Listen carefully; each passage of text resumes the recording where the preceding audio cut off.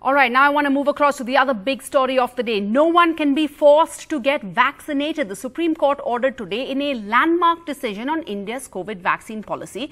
It also directed the central government to publish reports on the adverse effects of vaccinations. It said that restrictions that have been imposed on individuals, on the public, because of vaccine mandates cannot be called proportionate.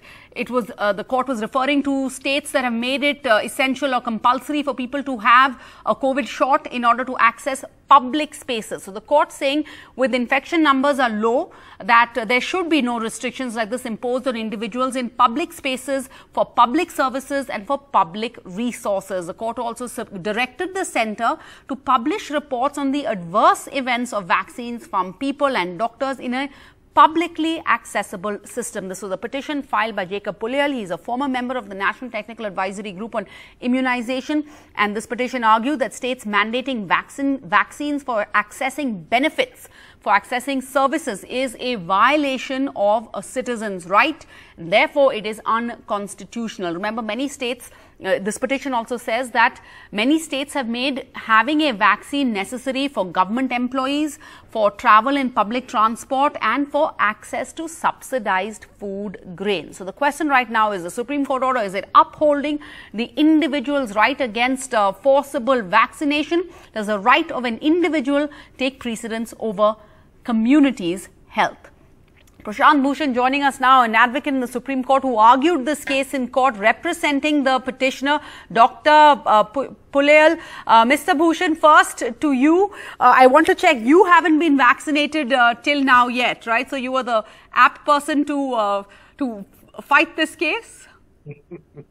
yes, neither me nor Dr. Puliyel have been vaccinated because uh, we both stand and know that uh, healthy people have very little risk of any serious uh, problems due to COVID. Hmm. And uh, therefore, uh, in any case, the ch- chances of our having a serious problem was very low. Secondly, at least I have had COVID myself. Therefore, my natural immunity from COVID is uh, superior to any vaccine induced immunity. So, therefore, I didn't want to get vaccinated because uh, the adverse effects of the vaccines are still unfolding. The long term mm, adverse okay. effects are still unknown. So but I want to ask you that uh, the, the question of the debate uh, does this right of an individual take precedence over a community cell? Because experts say the more people are vaccinated, the you know the the the virus then dies out because it has no host body. No, the court has not held that uh, the right of an individual supersedes the right of a community. The court has only held, uh, which is in tune with the earlier judgments of the court in Common Cause and Aruna Shanbhag, hmm. that I have an absolute right to decide what medication I will take for my own health. However, if I pose a danger to other people in the community, yeah. then certainly vaccine mandates can be issued. Here, the court has held that we had submitted voluminous uh, uh, scientific evidence in terms of published papers in peer reviewed journals, as well as the data from government sources showing that a vaccine does not really significantly affect your ability to get infected or your ability to spread the infection. Mm. So far as vaccinated versus unvaccinated people go, they are roughly equal in their ability to get infected and spread the infection. The only thing that the vaccine probably or possibly does is to prevent you from getting seriously A severe case, severe illness. And that is an individual decision of an individual as to whether he wants to risk the vaccine to prevent se- severe illness for himself. Uh, what is the chance of his getting severely ill anyway? Mm. especially if he has already had the COVID infection. Mm. So therefore, these are things for an individual to decide. The the government can only impose a mandate if and only if, uh, if the ability to, the public. to spread is far greater if you are unvaccinated, which is not the case according to the scientific studies which were presented and which were not successfully rebutted by the government. Not successfully rebutted by the government. I think that's crucial because we're not uh, arguing about, you know, whether maybe we, we'll have doctors on the show and we can put this across to them. But Mr. Bhushan, I want to ask you another very worrying aspect that came up in court today uh, was that the petition says that uh, the clinical trial data of COVID vaccines has to be made public. The petition alleges that vaccines have been administered uh, that have not been adequately tested for safety or efficacy that, you know, uh, clinical trials haven't, I guess they've been hurried uh, because of the emergency use authorization and that data is not being disclosed to the public. That's quite worrying and uh, a serious charge. Yes, yes, it is very worrying because uh, unfortunately, though the trials were supposed to go on for three years, but in less than one year and only a few months, mm they uh, terminated the trials, gave emergency okay. use approval, and unblinded the placebos, with the result that the trials were effectively over. Hmm. And still, they did not release the uh, the uh, raw data of the trials. You see, the trials are in the control of these vaccine companies who have a vested interest.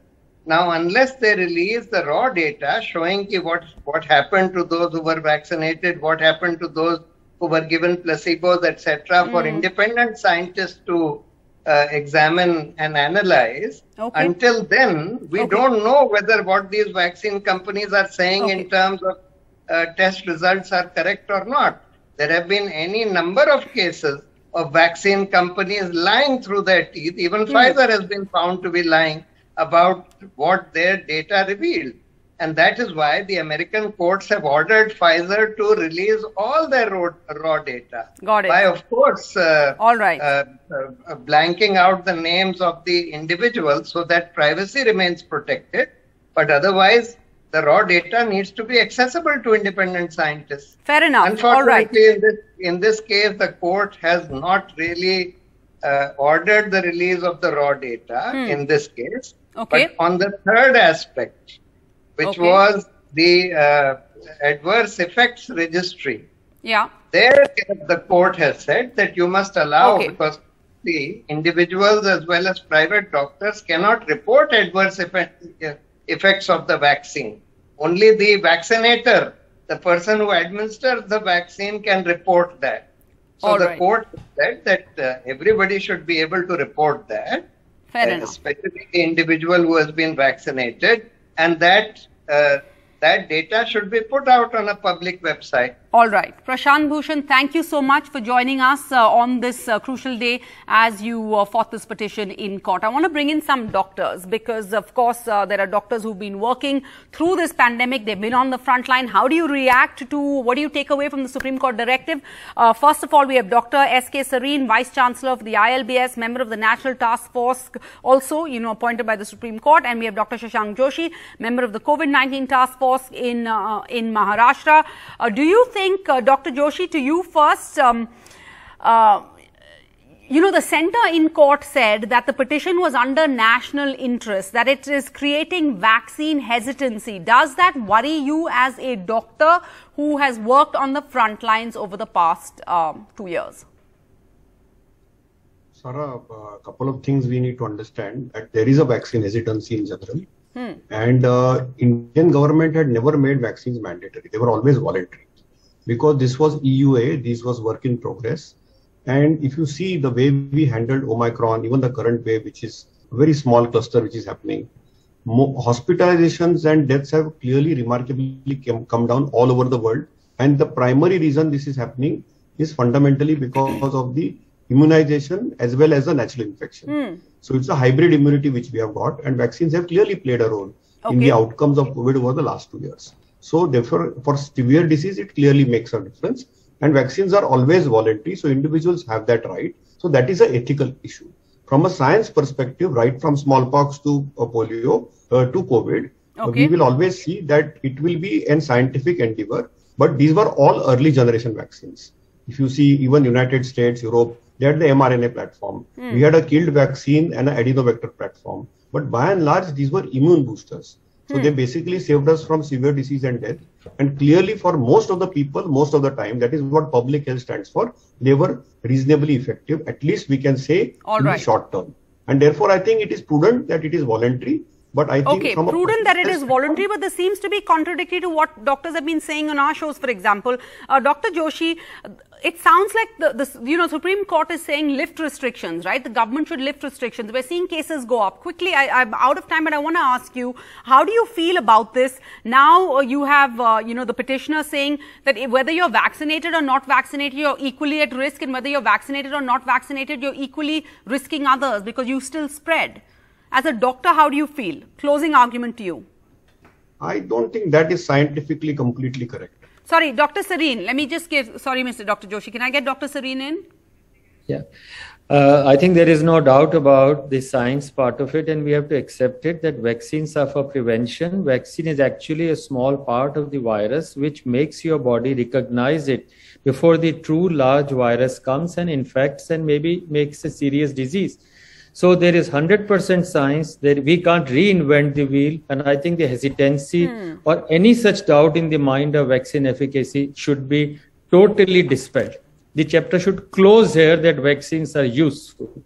The second part, for which I think there was a Supreme Court plea, and Dr. Shashank has addressed it partly, vaccines are voluntary. If you don't want to accept scientific data, a considered judgment of science and evidence based science, it is your choice.